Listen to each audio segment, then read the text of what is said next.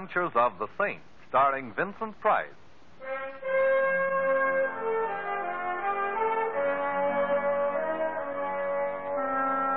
The Saint, based on characters created by Leslie Charteris and known to millions from books, magazines, and motion pictures.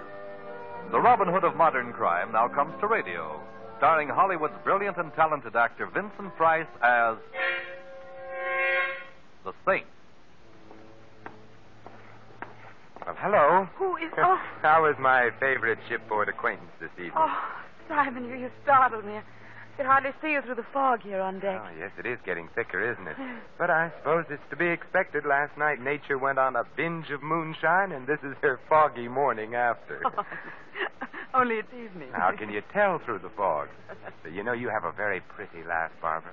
I'll listen for it in all of your pictures from now on. Thank you, Simon. But I'm.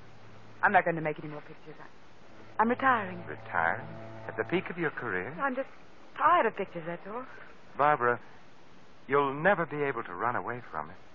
What do you mean? I'm referring to whatever it is that frightens you. Why don't you tell me about it, Barbara? Uh, there- there's nothing to tell. I'm. I'm tired. I, I need a rest.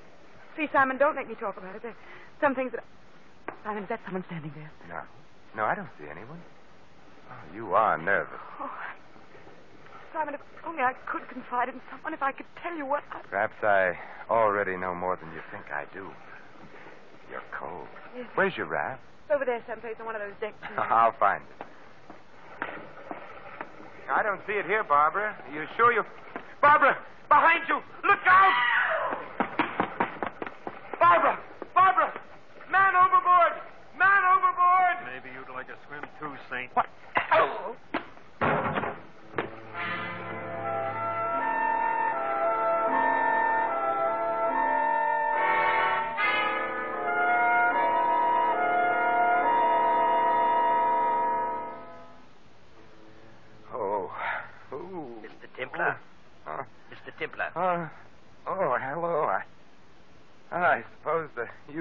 Question is, where am I?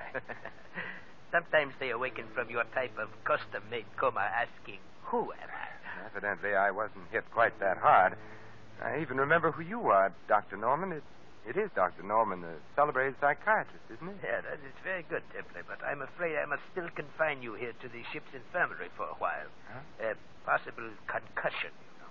Say, tell me what makes a famous neurologist like you pose as a mere ship's doctor. I'm really not posing. Uh, Partridge, the ship's physician, is ill. I Oh. was within earshot when I heard the familiar call, Is there a doctor in the house? And. Uh, no, Simon, don't try to get up. I have a flask here. If a drink will make you happy. Oh, not right now, thank you. I recall, I have some unfinished business to attend to. Barbara? Yes. Was she? They couldn't find her in the fog. She's gone. Poor Barbara. Yes, it was a horrible accident. Horrible, yes. Accident, no. You mean to say she didn't fall overboard? She was murdered. Murdered? But who? I think I know who. Ooh, my head. It feels like the Aberdeen Proving Ground. I will mix you a sedative. Uh, You know, you're not looking very well. I always look like this when I'm angry. There's only one cure. Yes, I know. The lady with the scales known as Madame Justice. You know, Templar, I've been curious about uh, what makes a man like you tick. Oh? Well, I'll tell you. Every eight days or so, someone winds me up. Right now, I'm wound up tight. Tight with fury. Well, as a psychiatrist, I would advise you to unwind a bit. Ah, here we are. Now drink this. It will put you to sleep after a while. Uh, thank you. You say you think you know who killed Barbara, Simon. I was wrong. I do know. Well, I think you ought to talk to me. Unwind yourself. You think I need psychiatry, Doctor? Well, I think you're too taut at the moment. That plus your concussion, it might be dangerous. Very well, Doctor. I'll unwind. I'll tell you the entire story. If you don't mind, Simon, here, this will help the rhythm. The metronome. Psychiatrists often use it. But, uh, rather... No, no, I don't mind. I'd never met Barbara Brooks, although I doubt if there's a human being alive who hasn't heard of her or seen her in the movies. I first saw her the day we boarded ship. There was something in her expression, in the way she walked and talked and smiled, that immediately told me here was someone I should know. Her entire demeanor was an attitude of invitation. Romance. Fear, Doctor. She was a frightened lady. She wanted someone near her. I walked over to her there on deck and immediately made myself useful. Her steward evidently had become busy elsewhere, so I tipped my hat and said somewhat idiotically, um, Get your program here, lady. You can't tell the staterooms without the numbers. I beg your pardon. Your steward seems to have deserted you. Oh. I've sailed this scow before, so if it's the direction to your stateroom you're looking Well, for. I would like to know. I would, too. Uh, number, please. A36 main deck. Thank you very, very much. It's this way. My uh, my name's Templar. Simon, for short. And, of course, you're Barbara Brooks. You know, uh, we passed the bar en route to A36 main deck. Does an old fashioned with a new acquaintance sound inviting? It will a little later after. If we are on the ship. Ooh, there's several. Act- oh, I see. He's gone now in the corner. Yeah, I think I saw the man you meant. A Certain off-center gentleman named Rader. Later, I, I don't know that name. No, surely you've heard of Phil Rader. He's just as big a star in his line of work as you are in yours. What, what is his line of work? Well, he's uh, he's an exterminator of human beings. Mr. Templar, I'm afraid. That was obvious from the moment I first saw you. Why don't you tell me about it? No, I can't. No, I, I'd be killed. As good a reason as any for not telling me, but I must warn you I've a peculiar talent for finding things out for myself. Oh, no, you mustn't do anything. Please. Please.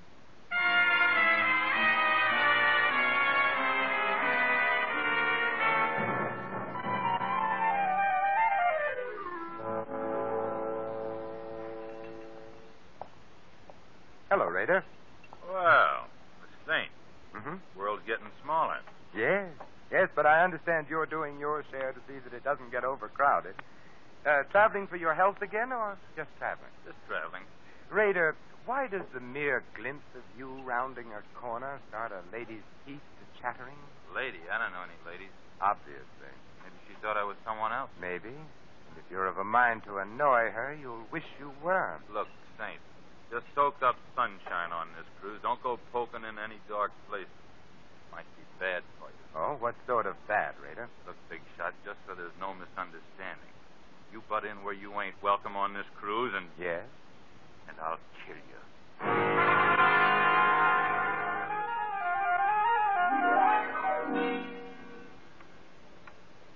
How is your head, Simon? And it feels as if a regimental crap game was going on inside of it with jet propelled dice. You haven't drunk your sedative yet. Here. Oh, thank you. Uh, shall I go on taking the load off of my concussion? Yes, by all means. I think I was present at the next sequence. Yes, huh? Doctor, you were.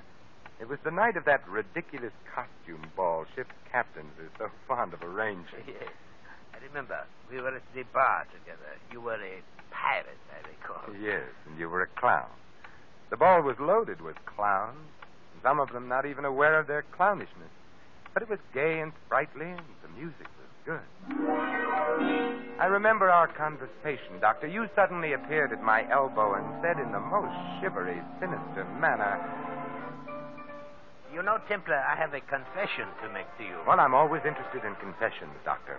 I've had a schoolboy crush on the beautiful Barbara ever since I saw her in pictures first.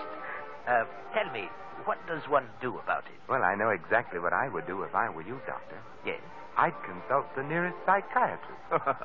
At the prices we charge? No, thanks.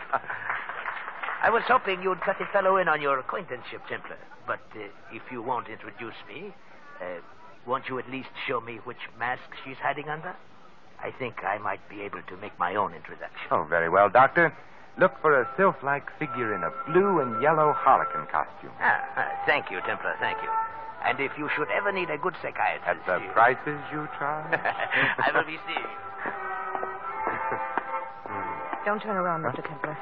I have a pistol in the small of your back. Well, now, really, is that any way to enjoy a walk? Listen, Saint, and listen hard. Oh, I'm all ears, except for the small of my back, which feels abnormally large at the moment. Certain arrangements have been made, Saint.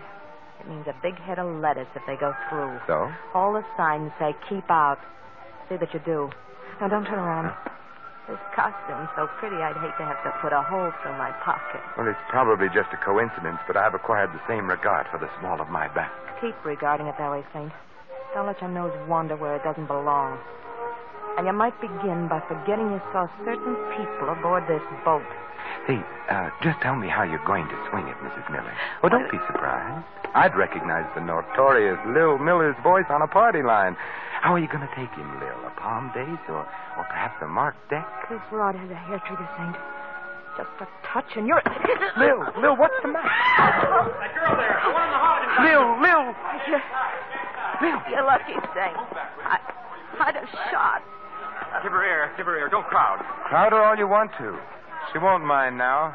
Is she? Yes, a stiletto in the back leaves very little doubt. She's dead.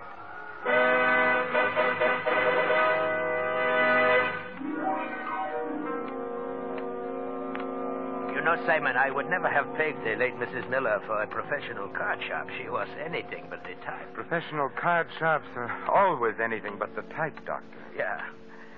To think I actually played bridge with her myself.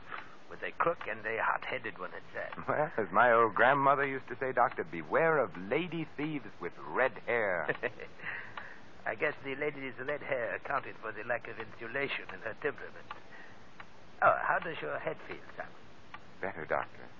Much better. You still haven't touched your sedative, you know. Oh, haven't I? Uh, I think you'll find that it helps, Simon. Here. Oh, thank you. Well, you know, shortly after the murder of Mrs. Miller, Doctor, I called on her bereaved husband and uh, partner in crime. A very interesting visit it was, too. You have the knack for making all of your visits interesting, Simon. Tell me about it. Well, I found Miller in the bar, quenching his sorrow with the merry waters of the River of Forgetful. Fifty grand in the palm of our hands and beef. No more Lil. No more Lil, no more sucker. No more sucker, beef. No more fifty grand. Ah, I see you valued your wife highly. Uh, who, who was the sucker, Miller? Ha ha. You're funny. Uh, tell me, what's Phil Rader cruising for, Miller? And uh, don't tell me it's a coincidence he's on board the same ship. You get funnier and funnier. Why is Barbara Brooks so afraid of Rader? You ain't even warm, Think You're a mile wide of the target. Uh, and I'd better use a different kind of ammunition then, Miller. Yeah? Like what? Like a little murder performed on an unwilling sucker in Reno. Huh? Well, you know about that? You won't like going back to Reno, Miller. It gets hot in the summertime, especially in the penitentiary. Uh, Raider was with Lil and me on this deal. He's All right, a... Miller, put the zipper on. Uh, Raider. Well, I I wasn't going to say anything, Phil. Honest, I was just. Skip ta- it, Miller. I always knew someday you'd show Canary Yellow. I thought you and I had a little understanding, Saint. Uh, you've got a reputation for wrong thoughts, Rader. Yeah, but right or wrong, I back my ideas up. To the hilt, Keep Saint. that frog sticker under cover, Rader, or I might take it away from you. And the Dutch courage that rides with it, too. I'll keep it hidden for now. You just be careful of the places where the lights don't shine, Saint. Come on, Miller. I want to talk with you. Well, I'll be out in a little while, Phil. I, I want a drink. You're I'll... drunk enough, Canary. Come on. You'd better go, Miller. And if you can't talk your way out of it, my regards to the fishes.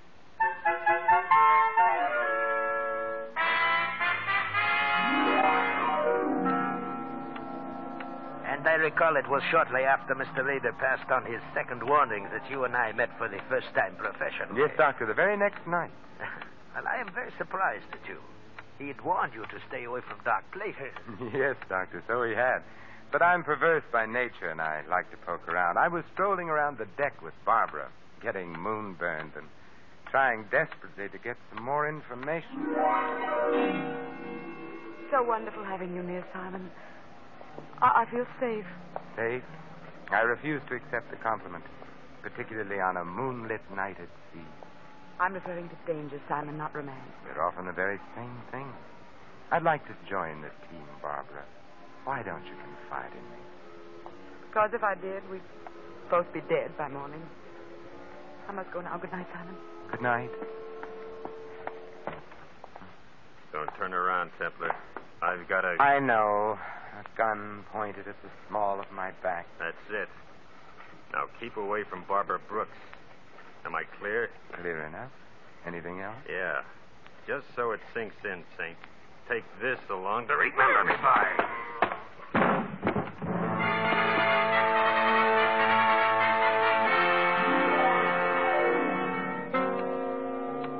Once again, you enter the picture, Dr. Norman. You found me there, lying on the deck, basking in moonlight. And blood. Uh, go on, Simon. Tell me the rest of it. Well, after your neat job of vulcanizing me, thus saving me a trip to the ship's doctor and innumerable words of explanation, I hit upon a strategy, and my next visit found me calling in the lion's den. I tell you, you're being made a patsy raider. You're on the verge of being demoted back to second class hoodlum. I can take care of myself. Well, I admit a minor sandbagging committed in your good name doesn't amount to much, Raider. But what if the same someone likes your name and decides to use it in uh, other way?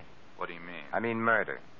You're a lead pipe cinch to pay for one of your own someday, Raider. But meanwhile, how would you feel getting hung for somebody else's shenanigans? I'd be annoyed. You sure would.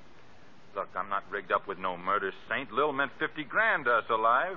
That's what we figured the sucker was good for. Well, that's a good enough reason for wanting Lil among the present instead of the late Raider. Uh, tell me, what was the angle? Blackmail? Nah, nah, nothing so crude, Saint.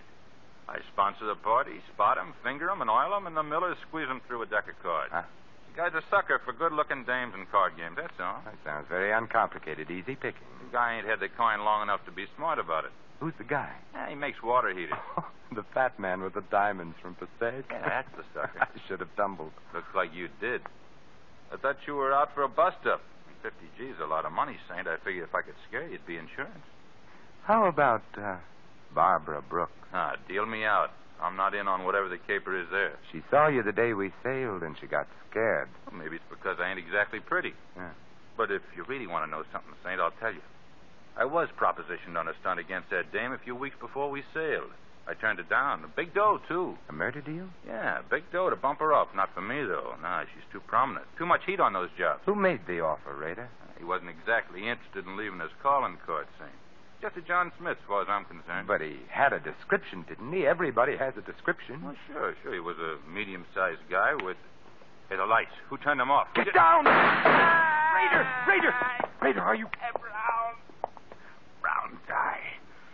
Blue shirt. Brown tie. Blue shirt. Brown tie, blue shirt. Not a very harmonious color scheme, is it? Raider. Yeah. Uh, thank you, Raider.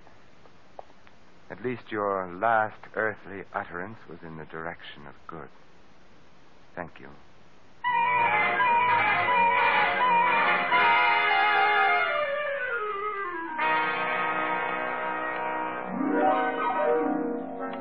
Brown tie, blue shirt. What did he mean, Simon? Well, it means that either the man for whom I search isn't a very fastidious dresser, Doctor, or else, Or else? or else he's colorblind. Blue and brown just aren't worn together. Well, no. They... Uh, I'll take that drink now, Doctor. Oh, and the sedative I mixed for you. Your concussion. Later, Doctor, later. Very well. I can see that you're going to be a very difficult patient. I hope you don't mind drinking out of another medicine glass, huh? No, right now I prefer it. Say when? A little more, Doctor. Well, that's fine. Has such a beautiful color, hasn't it, Doctor? Yeah, hasn't it, though? Aren't you going to drink it, Simon? In a moment, Doctor, when I finish my story. Oh, yes, of course, this story. Uh, Barbara's murder was next. Yes, huh? Barbara was next.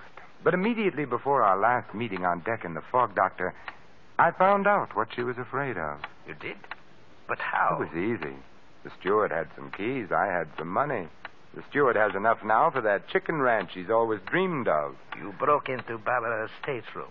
yes. Well, what did you find, Oh, Simon? lingerie, perfume, stockings, and some letters, Doctor. Peculiar letters. Huh? Fan mail? Yes. Yes, and all from the same fan. A fan she was once engaged to marry, Doctor. A fan who loved her very much and hated her in equal proportions. Who was so torn between love and hate, he had to kill her. Ah, schizophrenic. You should know. What do you mean? Well, you know the classifications. You're the doctor. Oh. Drink your sedative, Simon. A colorblind schizophrenic. I don't believe I've ever met one before, Dr. Norman. So colorblind, he mistook the green and orange harlequin costume worn by Lil Miller for the blue and yellow one worn by Barbara. That is very interesting, Simon. Poor Lil. If she'd come to the ball as anything but a harlequin, she'd have lived to take in $50,000. Your sedative. Simon. You know, you were wrong about Lil's hair, Doctor. It wasn't red, it was brown. you said it was red. I wanted to see if you'd agreed. Uh, your sedative. Yes, of course. Hand it to me, would you, Doctor? There alongside the drink. Yeah. No, no, don't try to tell them apart by their aromas, Doctor. It's obvious that they're different colors. Or can't you tell? You find it, Saint. I'd like very much for you to drink it. My doctor, what a pretty purple gun you're wearing. Or is it pink? Drink up, Templar. You've hardly feel it. It's just a dash of prussic acid. Uh, Dr. Norman, when you give a sedative, you go overboard. Drink it, Templar. Well, you're the doctor. A toast to you, Dr. Norman. To your green shirt, blue tie, and gray handkerchief, none of which match. Here's how. Oh, my eyes! You threw it in my eyes! It was a question of your eyes or my stomach, Doctor. In my eyes, I'm blind! You'll get over it, Doctor, which is more than can be said of me if one of those wild shots of yours should hit me. I know I shouldn't practice medicine without a license, Doctor, any more than you should. But um, here's a sedative from me to you.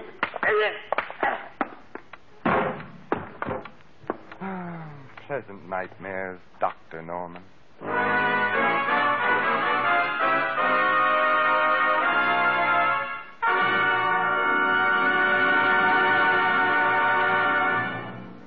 You have been listening to another adventure of the Saint, the Robin Hood of modern crime. And now here is our star, Vincent Price. Ladies and gentlemen, in a prejudice filled America, no one would be secure in his job, his business, his church, or his home. Yet racial and religious antagonisms are exploited daily by quacks and adventurers whose followers make up the irresponsible lunatic fringe of American life. Refuse to listen to or spread rumors against any race or religion. Help to stamp out prejudice in our country. Let's judge our neighbors by the character of their lives alone, and not on the basis of their religion or origin. This is Vincent Price inviting you to join us again next week at the same time for another exciting adventure of the Saint. Good night.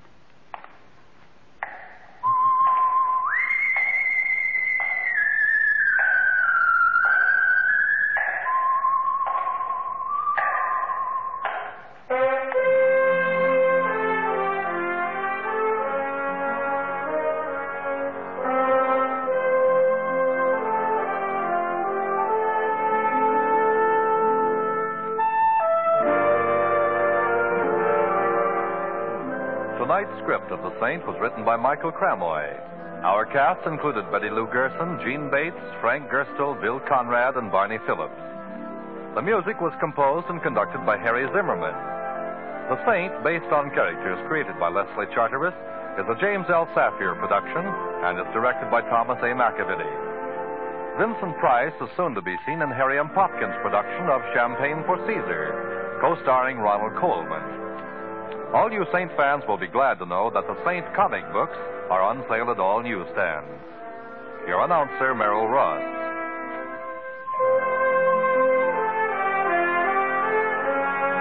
This is the Mutual Broadcasting System.